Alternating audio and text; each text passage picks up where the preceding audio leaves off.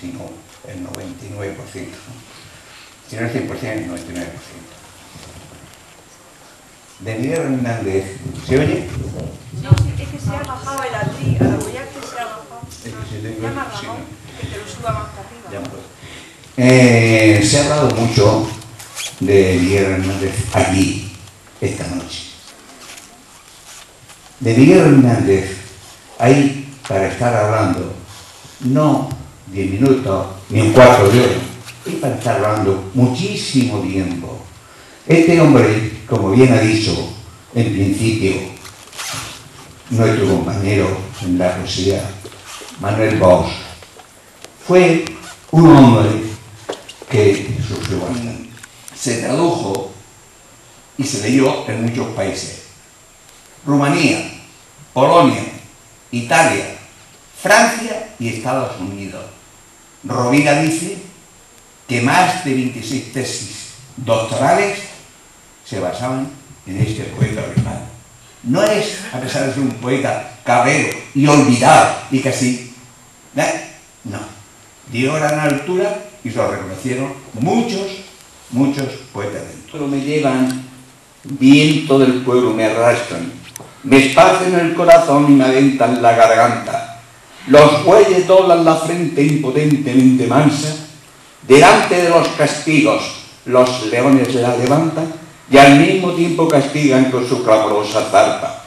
No soy un pueblo de bueyes, que soy un pueblo que embargan yacimientos de leones, desfiladeros de águilas y cordilleras de toros con el orgullo en el asta. Nunca me daron los bueyes en los páramos de España. ¿Quién habló de echar un yugo sobre el cuello de esta raza? ¿Quién ha puesto al huracán? Jamás ni yugo ni trabas, ni quien al rayo detuvo, prisionero en una jaula. Asturianos de braveza, vascos de piedra blindada, valencianos de alegría, castellanos de alma, labradores con la tierra, airosos como las alas, andaluces de relámpagos nacidos entre guitarras y forjados en los yunques torrenciales de las lágrimas, extremeños de centeno, gallegos de lluvia y calma, catalanes de firmeza, aragoneses de casta, murcianos de dinamita feudalmente propagada, leoneses, navarros, dueños del hambre, el sudor y el hacha, reyes de la minería, señores de la alabanza, hombre que de las raíces, como las raíces se callaran, vais de la vida a la muerte, vais de la nada a la nada.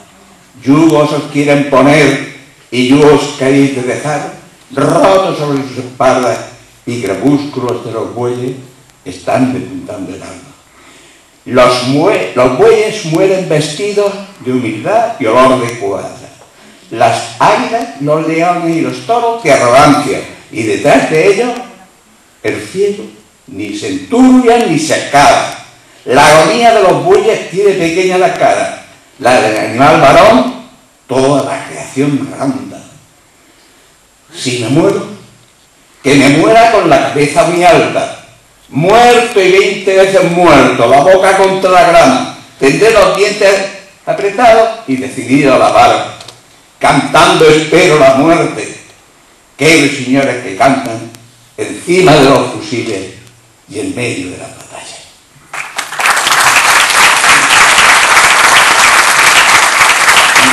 Respondo y espero sobre el surco como el arado espera.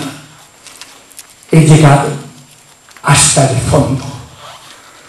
Morena, de altas torres, alta luz y ojos altos, esposa de mi bien, gran trago de mi vida.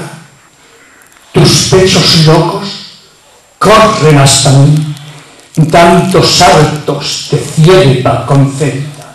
y no la quiso llenar, más que la tierra que arroja. En la casa había lanzado la felicidad sus bóvedas, dentro de la casa había siempre una luz victoriosa. La casa va siendo un hoyo. Yo no quisiera que toda aquella luz se alejara vencida desde la alcoba.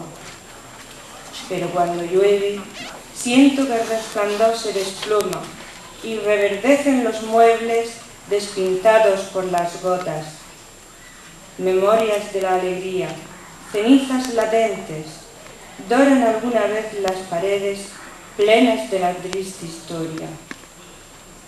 Pero la casa no es, no puede ser, otra cosa que un ataúd con ventanas, con puertas hacia la aurora, golondrinas fuera y dentro, arcos que se desmoronan.